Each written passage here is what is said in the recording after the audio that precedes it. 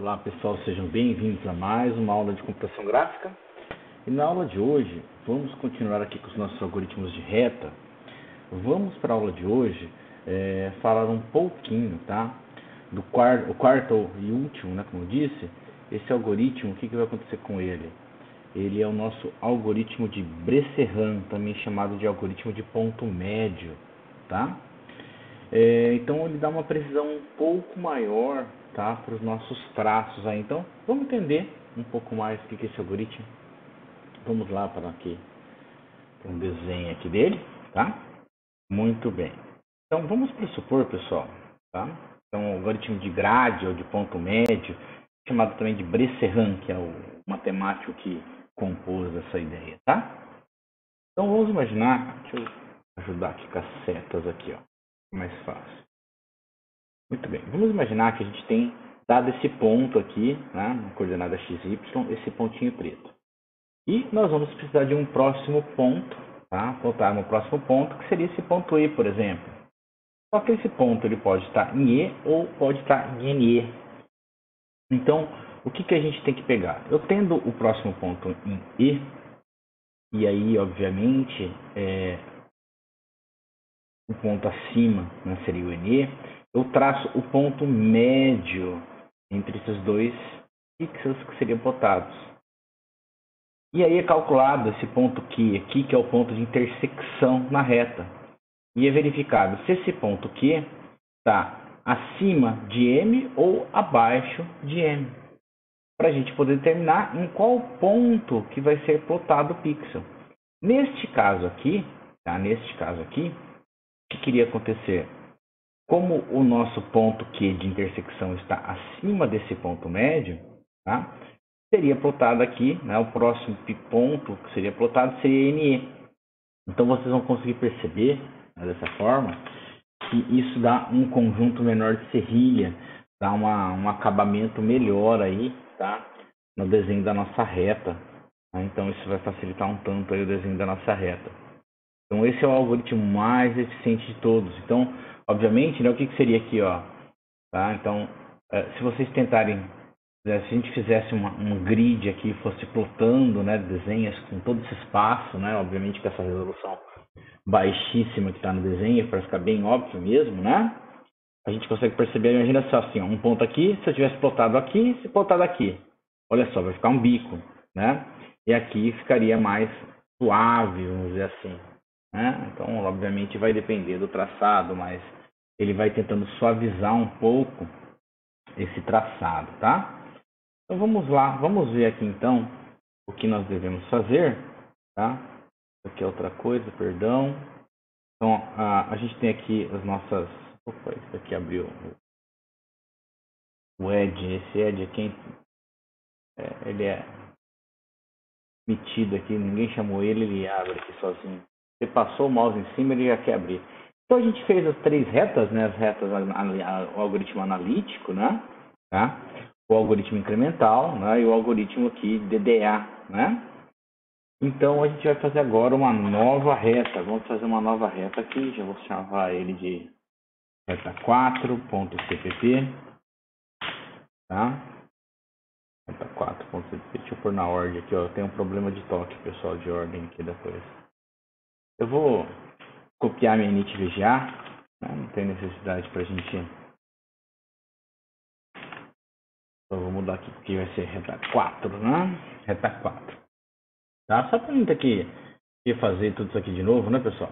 Muito bem. Então, essa aqui, tá? Então, essa reta 4. Tá? Então, aqui a gente vai fazer o nosso é, é, algoritmo, algoritmo de Bresserran.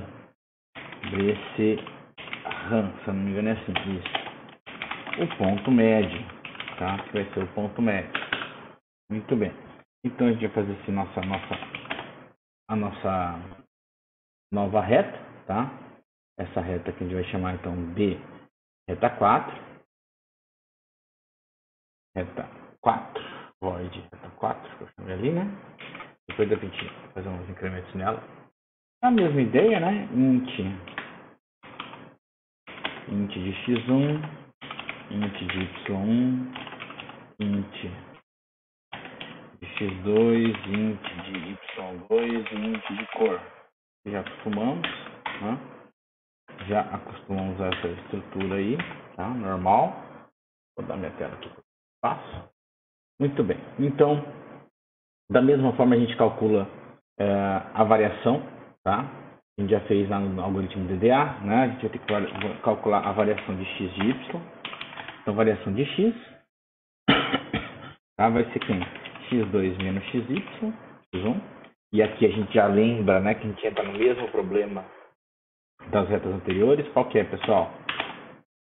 Sem deslocamento negativo, né? Por quê? Eu estou pressupondo aqui dessa forma o quê?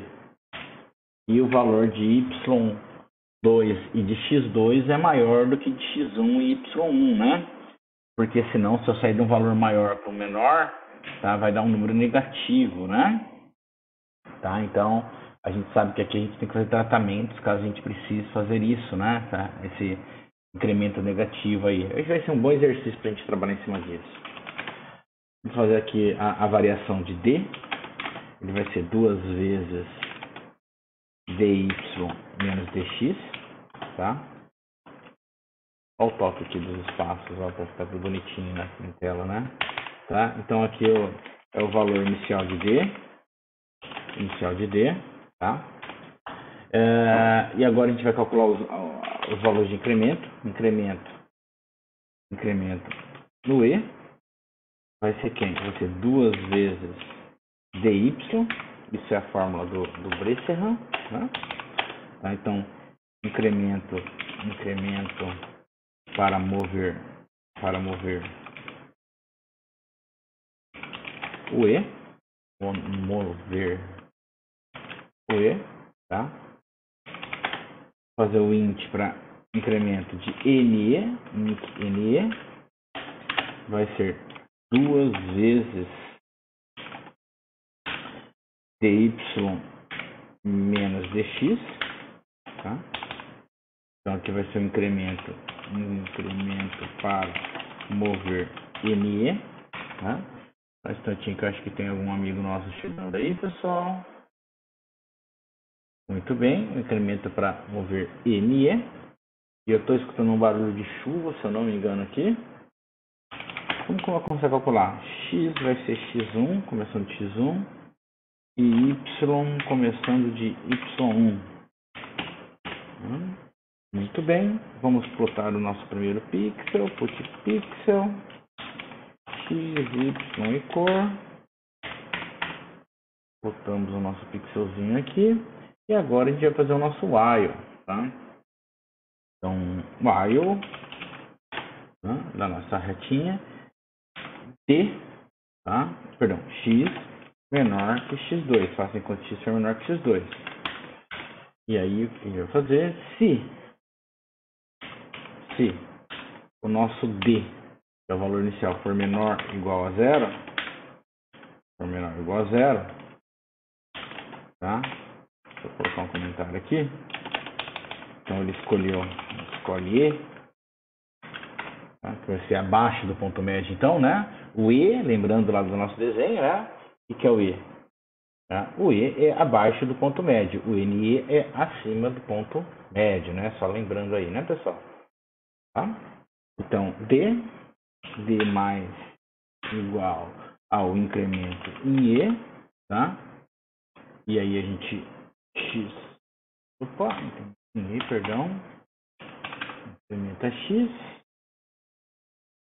Uh, se não, se não, else, né, se não, o nosso incremento vai ser mais igual a int ne, e aqui é óbvio, né? Não precisa nem colocar, escolhe ne.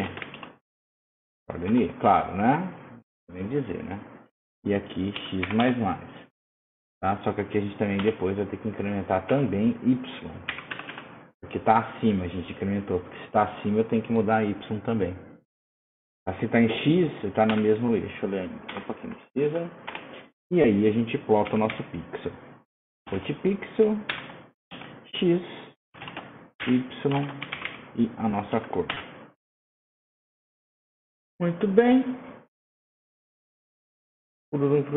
Plotou, while, while, while, show. É isso aí. Vamos fazer um main aqui, void main. Eu vou pegar o, o main lá do... Vou pegar esse main aqui já feito, ó.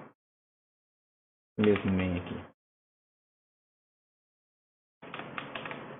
Só aqui que é reta 4, né? Só aqui que é reta 4. 4, reta 4, reta 4. Muito bem, vamos lá, vamos ver o que vai acontecer. Vamos lá no nosso DOSBox, vamos emular isso.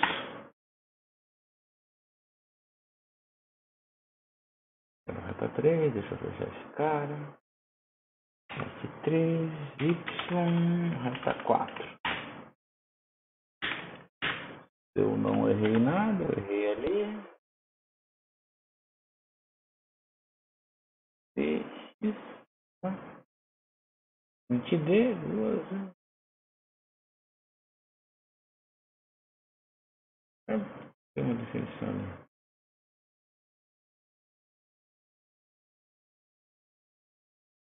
Aqui, X1, X2. Olhando Aqui mais fácil. X, hum. de x igual a x1, y igual a y1. dx, essa. Ele ali qualquer. Underseed XY Ink E Ink E. Doideira? Tô doido aqui, deixa eu fechar isso aqui pra não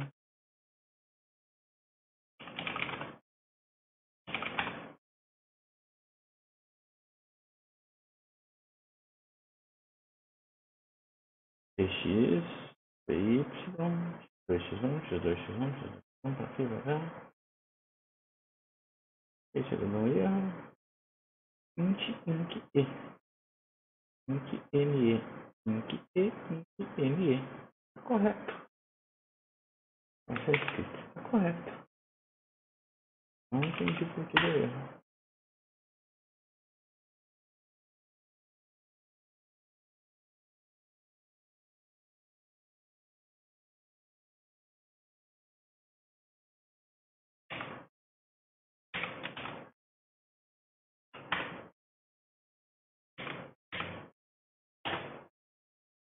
Termos de declaração de sintaxe.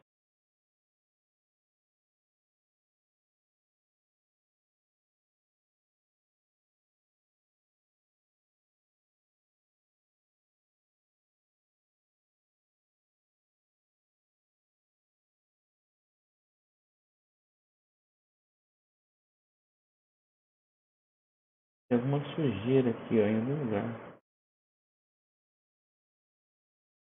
Aqui, ó.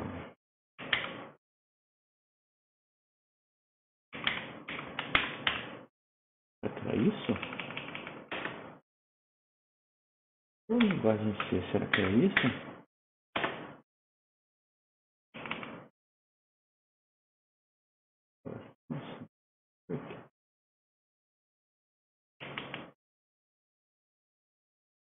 Entity, vezes. Não é antes mesmo, não. Oi. Oh, meu Deus, verdade, cara. Puta merda. Eu tô olhando ali, ali não tá enxergando. Eu tô pegando um costume nas três linhas, né? Eu tô pegando um costume. Verdade, cara. Muito bom. Eu não vi mesmo. Ali, touch pixel, x, y, Que legal, caractere. Alguma sujeira em algum lugar.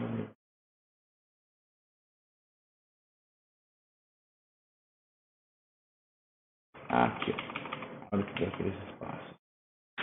Uh, eu tô pegando uma mania aqui de estar tá usando outra linguagem, galera. Eu tô usando bastante uma linguagem que não usa ponto e vírgula. Citamos Python, olha lá, ó. Cara, eu tô me complicando aqui, ó. Nossa, olha, erro, erro nível estagiário, né? Olha lá. Aqui ele fez só uma reta, tá? Deixa eu ver o que a gente colocou. Deixa eu ver o que eu coloquei aqui nas declarações. Uh, 400, 500, 400, 600, 600... 400 por 550 por 400, 600, 50 por Era para ter feito duas. A terceira realmente não era para ter feito por conta do por conta do valor decrescente, né? Isso a gente já acostumou, a gente vai ter que tratar. Não fez ali. Então a gente vai dar uma olhada. Eu gostaria que vocês percebessem, pessoal, quando vocês rodassem, aqui eu não sei se vocês vão conseguir ver bem, tá? Mas dessa reta para, por exemplo, a primeira reta nossa, ah, essa não, a outra, né? é, y, y, y, reta 2, tá? vocês vão perceber que ele tem uma, uma, uma serrilha aí, conforme a resolução que você estiver utilizando, vai dar uma boa diferença aí na, na tua tela, na tua visão, tá? Vocês vão conseguir perceber isso daí bem. Muito bom, pessoal. Vou deixar vocês fazerem esse exercício aqui. Espero que tenham gostado. Se gostou, curte o vídeo, segue o canal, dá um clique no sininho. Até a próxima, pessoal. Tchau.